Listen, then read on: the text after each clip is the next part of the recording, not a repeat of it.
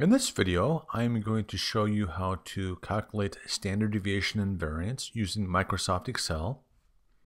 I'm going to show you how to do the calculations for standard deviation and variance using the Microsoft Excel commands and also how to do it longhand. If you're trying to learn how to do this longhand, I would encourage you to watch another video first and I put a link to it below.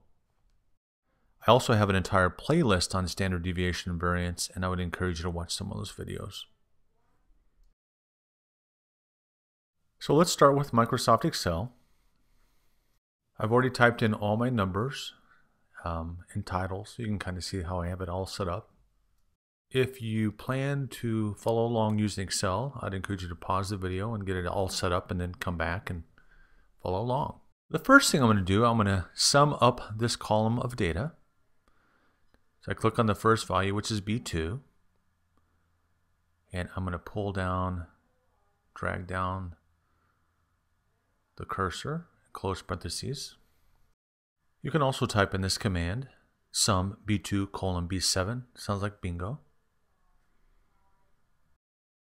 Next thing I do is hit equal, type the word count, open parentheses. I select the first value and then type colon and drag down to the bottom. You can also just type the command. Now I'm going to calculate the average. So I hit equal and type the word average. Open parentheses, click on the first value and drag down.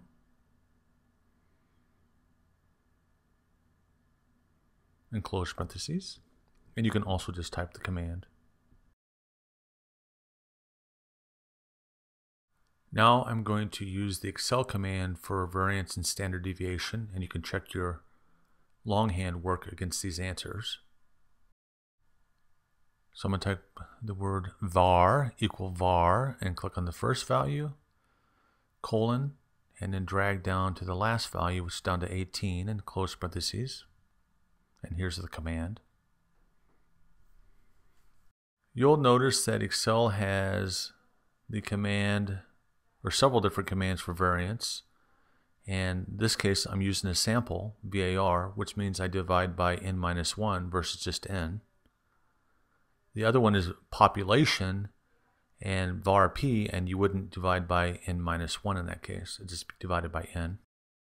I'll do the same thing for standard deviation. I hit equal, STDEV, for the sample standard deviation. Click on the first value and drag down, or just type in commands. Oops. Try that again. B2 colon, drag down B7, close parentheses, and here's the command I'm using.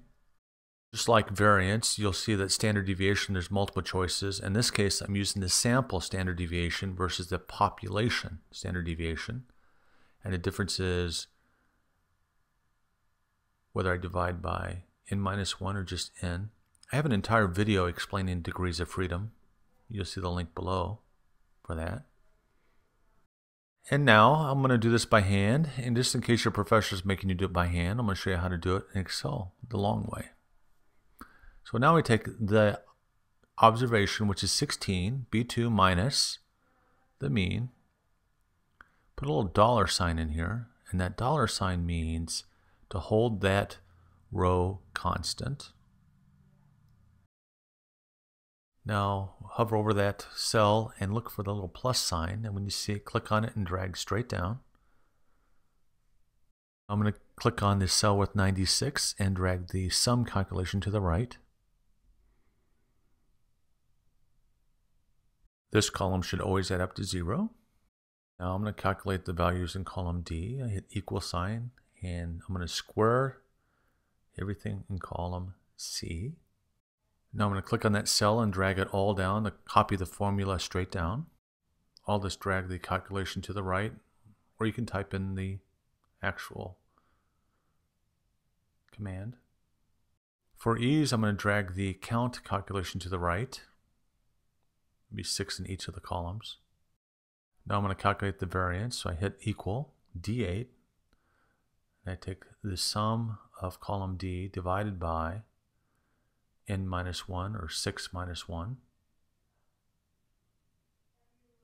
I'm taking the sum of column D, which is D8, 24 or D8, divided by the number of observations, which is 6 minus 1.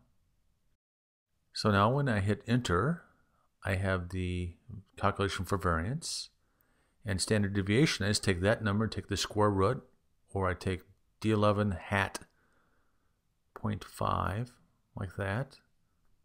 And that 0.5 means take a square root of it, which is the same thing as raising any number to the 1 half power, or 0.5. Share the knowledge, share the love. Facebook, Twitter, Google Plus, like me. There's also a playlist on standard deviation. I show you how to do this by hand, all kinds of other stuff about standard deviation right below.